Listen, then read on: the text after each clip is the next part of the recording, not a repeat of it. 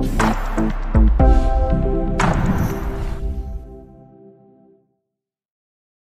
everyone, how you doing today?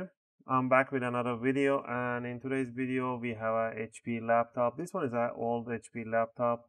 A client brought it in and he wants to do a RAM upgrade. This officially comes on with a 4 gig RAM. They will give you the exact model for this one is a DV4-4266.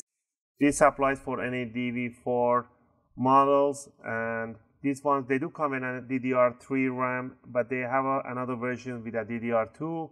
The DDR2 version, they only can go up to max 4 gig, but this one, it can go, it's something weird, I don't understand why, but on the website, when you go to the HP website, it will tell you maximum RAM can handle this laptop is an 8 gig, so that means two 4 gigs. That's kind of not true because they do have an iCore 5 new processor. This is a second generation iCore 5, which is i5 2400 mobile.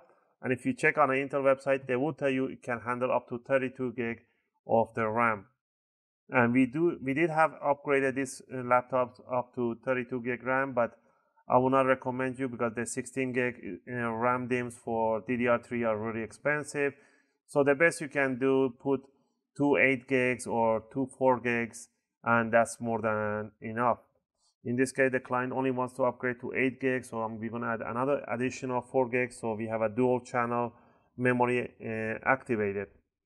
Again, you can go up to 32 gig with no issue, no matter what does the HP website tells you.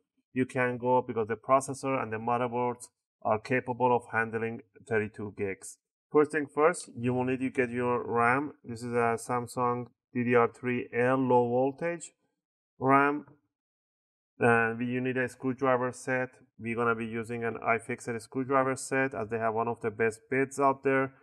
We're gonna use a Phillips number one. These are S2 class S2 class steels. That means they're really toughened steels. So once we have the screwdriver with the RAM, we're gonna power off the laptop. We're gonna remove the battery by pulling this trigger to one side and remove the battery. We're gonna remove this service cover right here by removing, loosening up this one screw. The screw has a C-lock on them. That means it will not come out entirely. You just have to loosen it up. And then you wanna put your finger right beside it.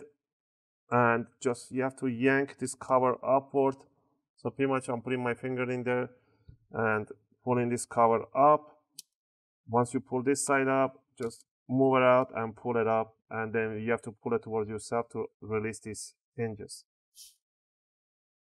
There is the uh, RAM on the bottom. This is a 4 gig DDR3 and there's a one extra RAM DIMM available right here.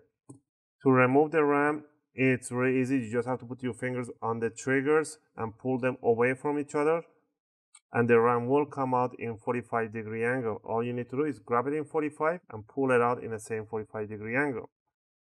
All right. This one is a DDR3 uh, doesn't have to be a low voltage, but low voltage is compatible with a normal one. There's no difference. Make sure the notch on the RAM matches the notch on the RAM DIMM. So if you try put it the other way around, it will not go through.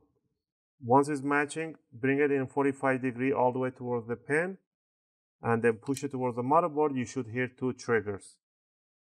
The new RAM, bring it up, put it in 45 degree angle all the way towards the DIMM and towards the motherboard and you should hear a soft clicks right in there. Now before we put the cover on, we're gonna power on to make sure we get a screen uh, HP logo. But if we don't get an HP logo, we're gonna power off, we're gonna swipe the places. And that sometimes it works because not always the BIOS reads the RAM at the first. This is very normal on the laptop. So we're gonna plug it in and we are gonna power it on and you're gonna tap on escape to go to the BIOS.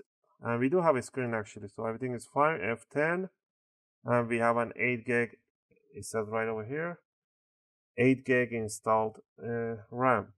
You can easily go up to 32 gig with no problem. Or you can, the best you can do, do two 8 gig, 16 gig is way better.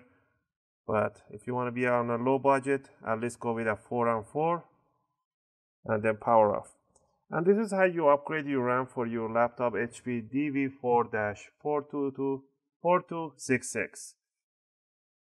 I hope you guys liked this video and helped you guys out. If it did, you know what to do. Click that thumbs up button. If you want to support the channel, just click subscribe. And again, to grab the bottom cover, place this side down first and squeeze down the rest and then push it towards the laptop. As always, thanks for watching and I hope seeing you guys in my next videos. If you guys have any question or request, feel free to leave them in a video comment. I'll try to answer them as soon as I can.